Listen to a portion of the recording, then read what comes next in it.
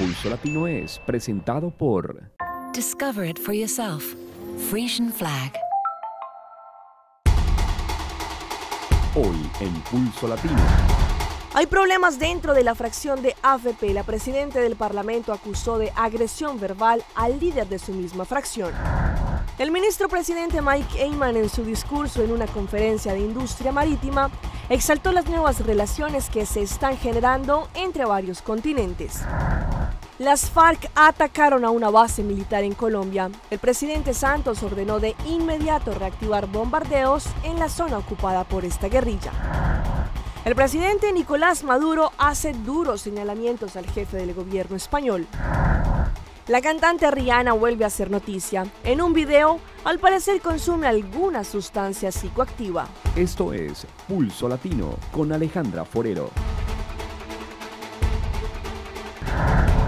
Hola, bienvenidos a una emisión más de Pulso Latino. Gracias por su sintonía. Soy Alejandra Forero y damos inicio a nuestra emisión con noticias locales. Ayer en el Parlamento se dio a conocer un impasse que se está presentando en la misma fracción de AFP. La presidenta del Parlamento, señora Marisol López Trump, presentó públicamente una agresión verbal de la que fue objeto por parte del líder de la fracción de AFP, René Gerdey. Ella, como ente principal de Staten, indicó que no va a tolerar este tipo de agresión en la sala del Parlamento. La presidenta del Parlamento, Marisol López Trump, eligió la vía diplomática y oficial al final de una reunión pública del Parlamento durante esta semana para expresar su disgusto contra el líder de la fracción de AFP, señor René Gerdey. Ella lo acusó al colega de partido de insultarla dos semanas atrás, en una reunión para atender la problemática de la docente del colegio de Cudahuecha. Ese día la señora Marisol López Trump votó junto con la fracción de MEP y PDR contra la ministra Michelle Hoiber Winkler. Al parecer ahora con las discusiones internas en la fracción de AVP no han terminado, sino que apenas están iniciando. Ella en su relato público indicó que no va a tolerar este tipo de agresiones verbales y que como presidente del Parlamento también puede ejercer su voto y lo demostró teniendo criterio propio. Esta es la razón por la cual muchas personas en la comunidad han elogiado la directriz que la señora Marisol tomó de tener una postura firme en cuanto a su votación. En otras noticias, el primer ministro de Aruba, Mike Eyman, en su reciente visita a Panamá, tuvo la oportunidad de efectuar la apertura de la sesión de matchmaking en ese país. Después de que se desarrollara con éxito la Cumbre de las Américas, allí en Panamá comenzó una conferencia con un enfoque sobre la industria marítima. A esta feria asistieron delegados de todos los continentes quienes estaban buscando socios interesantes con los que podrían hacer intercambios de negocios. El primer mandatario de esta isla en su discurso resaltó que muchos países están buscando modelos económicos que combinen prosperidad y equidad. Para el reino de los Países Bajos, ser acá compartiendo con ustedes en Panamá estos momentos muy especiales que empezaron con el cumbre de las Américas y que estamos siguiendo estos días con esta gran conferencia marítimo. Ustedes como ciudadanos, dirigentes de Panamá, pueden ser muy orgullosos de la línea y la visión que Panamá exponió estos días.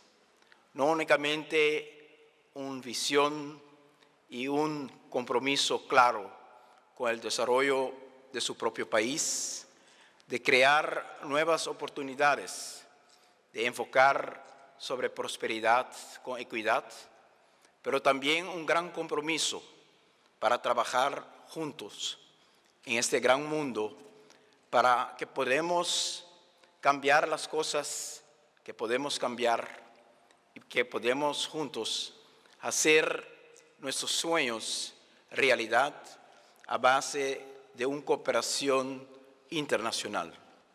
El Canal de Panamá es el mejor símbolo de esta cooperación. No hay distinción de los buques que pasan y las lanchas que pasan por el Canal de Panamá de todas nacionalidades, de todos países, pero también con muchas destinaciones y con muchos propósitos. Propósito de comercio, pero también propósitos para ayudar a la gente más en necesidad. Una infraestructura ha cambiado el mundo y ustedes lo tienen para ustedes, para su desarrollo, pero lo tienen también para facilitar y hacer aún más eficiente la comunicación entre gente y todas las necesidades que tenemos en este mundo como gentes. Muchas gracias, que Dios te bendiga, que nos da la inspiración para no únicamente ver los cambios que podemos realizar para comercialmente y económicamente podemos tener un avance para la economía de nuestros países, pero que nos da la inspiración también para buscar las formas como podemos traducir esos avances económicos en una mejor calidad de vida para nuestros ciudadanos. Muchas gracias. La ministra de Educación, Michelle Hoiber Winklar, se pronunció sobre una nueva agresión que vivió la directora de un colegio de Aruba, indicando que este fue un acto criminal y que tendrán cero tolerancia por quien amenazó a esta directora. Asimismo, la mandataria instó al departamento policial para que también actúen rápido frente a estas situaciones que se están presentando en los colegios de nuestra isla. La policía está investigando este caso y espero que pronto lleguen a los sospechosos. Este tipo de actitudes no son aceptables. De esta forma, la ministra de Enseñanza, Michelle Hoiber Winkler, dio a conocer después de tomar nota de la agresión contra la directora de Filomena College en San Nicolás.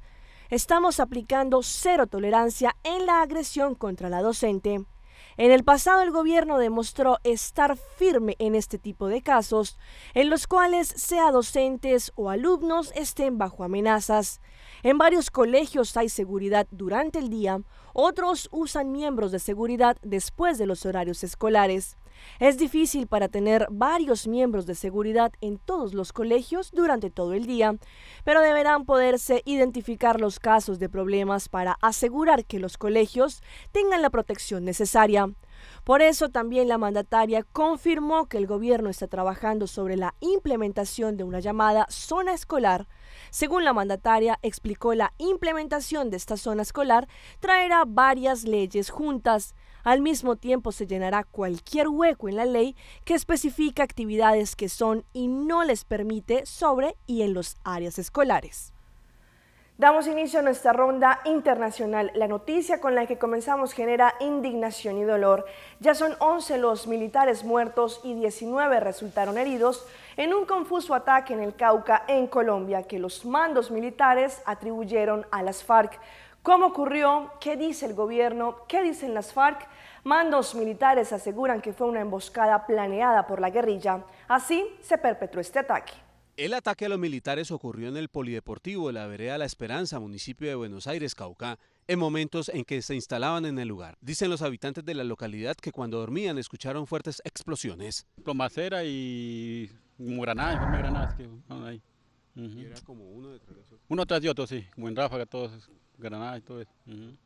Aseguran que los soldados llevaban pocos días en el área y tenían el escenario deportivo como lugar de concentración. Ellos hacía como tres días han llegado ahí, sí. pero hacía voy 15 días han estado también ahí. El comandante de la tercera división del ejército, general Mario Valencia, relató la forma como fueron atacados sus hombres. Estaban adelantando una operación de control territorial protegiendo a la población civil en un área donde sabíamos que había presencia de la cuarta comisión de la columna móvil Miller Perdomo. En el desarrollo de esa operación hay enfrentamientos. En ocho bolsas plásticas de color blancas fueron evacuados de la zona en helicópteros los cuerpos de los militares asesinados. A esta hora un grupo de la Unidad de Combate Terrestre del Ejército hace una inspección donde ocurrieron los hechos. Tras el ataque, 20 militares quedaron heridos, cuatro fueron atendidos inicialmente en el puesto de salud del corregimiento de Timba, a más de una hora donde ocurrieron los hechos. Presentaban múltiples heridas en diferentes partes del cuerpo, se remitieron, dependiendo de la gravedad, se remitieron a nivel 3, al hospital más cercano que está en Cali, la clínica Valle Lili. El alcalde del municipio de Buenos Aires explicó que las FARC han hecho hostigamientos en esa región. Precisamente con la llegada de la brigada, de la brigada móvil 17 acá al sector, que se empezó a hacer eh, eh, control del territorio, pues donde se han venido presentando los hostigamientos y los enfrentamientos. Se espera el reporte si hay afectaciones o lesionados de la población civil, pues el polideportivo está instalado a pocos metros de algunas viviendas de la vereda.